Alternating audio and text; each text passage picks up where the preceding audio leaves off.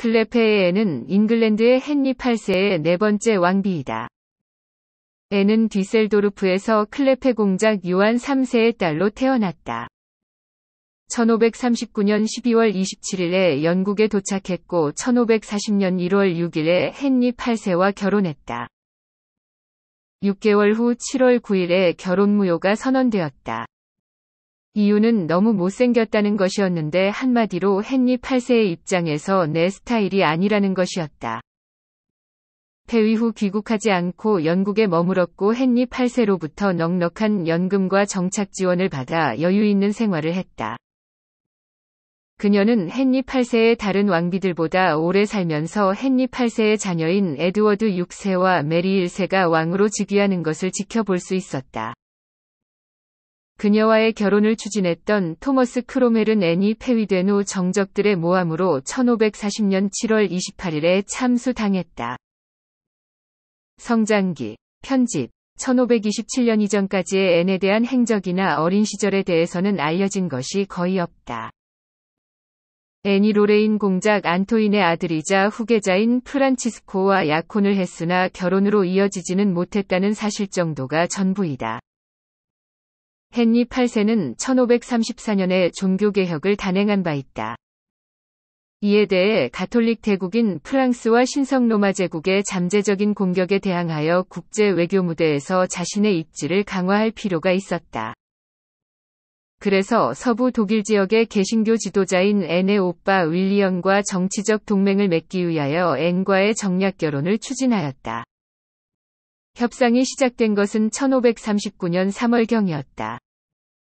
재혼을 추진하는 잉글랜드 편집 헨리 8세의 세 번째 왕비 제인 시무어가 에드워드 6세를 낳고 죽자 잉글랜드는 왕의 재혼을 추진하였다. 헨리 8세는 악명 높은 남편감이었기에 신부를 찾는 일은 쉽지 않았다. 첫 번째 왕비는 쫓겨났고, 두 번째 왕비는 사형당했고 세 번째 왕비는 아이를 낳다 죽었기 때문이다. 헨리 8세는 한때 유럽에서 가장 풍채가 당당한 미남으로 불렸던 적이 있었다. 이제는 비대한 40대 후반의 중년 남자가 되어버렸다. 하지만 외모가 뛰어난 여성만을 신부로 맞을 것이라고 못 박았다. 영국 성공회를 지지했던 토머스 크로멜은 신교 국가인 클레페 공국의 앤을 지지했다. 궁정화가 홀베인이 앤의 초상화를 그려 영국으로 보냈다. 초상화에 그려진 정숙하고 고요한 여인에 반한 헨리 8세는 클레페의 앤과의 결혼을 결심했다. 이 결정에는 신교 국가와의 관계를 다져 영국 성공회의 입지를 굳히고 잉글랜드 내 카톨릭의 재기를 막고자 하는 목적도 있었다. 그러나 클레페의 앤은 춤 노래, 문학, 외국어 등에 다재다능한 이상적인 르네상스 여성상과는 거리가 멀었다. 가사 교육을 집중적으로 받아 바느질 솜씨가 뛰어난 정도였다. 게다가 앤은 거의 영어를 하지 못했다. 실망하는 헨리 8세. 편집. 헨리 8세는 영국에 도착한 앤이 홀베인의 초상화와는 다르게 생겼다며 실망했다. 초상화를 그린 화가가 그녀의 얼굴과 몸매를 심하게 바꿔 그린 것이다. 클레페의 앤이 철저히 교육받은 첫 번째 왕비 캐서린이나 재기발랄하고 매력적이었던 두 번째 왕비 앤 불린과는 달리 내세울 만한 특기도 없고 무지할 정도로 순진하다는 사실에도 불만을 표시했다.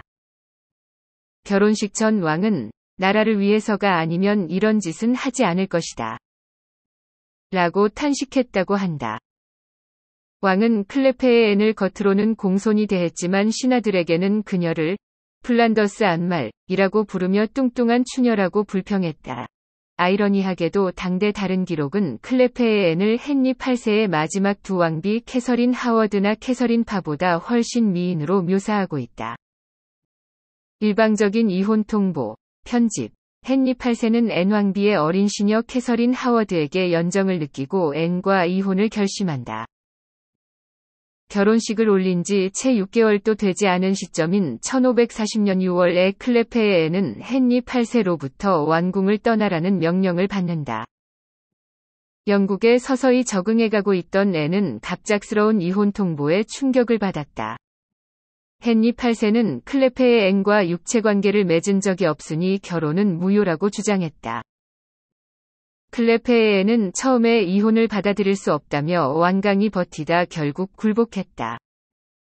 앤은 왕의 이혼 결정을 끝내 받아들이지 않았던 첫 번째 왕비 캐서린이 비참한 말년을 보냈으며 두 번째 왕비였던 앤 불린은 모함을 뒤집어쓰고 참수당했다는 사실을 전해 들었기 때문이다.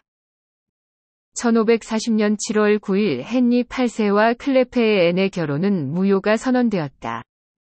이혼 후에 벌어진 일들, 편집, 클레페의 앤과의 결혼을 주도했던 수석 비서관 토머스 크롬웰은 왕의 이혼으로 커다란 정치적 타격을 받았다. 때를 놓치지 않고 크롬웰의 정적이자 앤 불린의 외숙 노포크 백작은 왕에게 크롬웰을 체포하도록 부추겼다. 크로멜은 반역죄로 런던탑에 연금되었다가 왕의 이혼 절차가 끝난 후 참수되었다. 헨리 8세는 크로멜이 고통스러운 죽음을 맞도록 처형을 일부러 미숙한 사형 집행인의 손에 맡겼다. 솜씨가 서툰 집행인은 크로멜의 목숨이 끊어지기까지 그를 세 번이나 내리쳐야 했다. 클레페에는 왕에게 협력한 대가로 영토와 연금을 하사받고 왕비가 아니라 왕의 누이라는 칭호를 쓸 수 있게 된다. 애는 쫓겨난 신부라는 불명예스러운 신분으로 고향으로 돌아가기보다는 왕의 존중을 받으며 평온하게 살 수 있는 잉글랜드에 머무르는 편을 택했다. 시청해주셔서 감사합니다.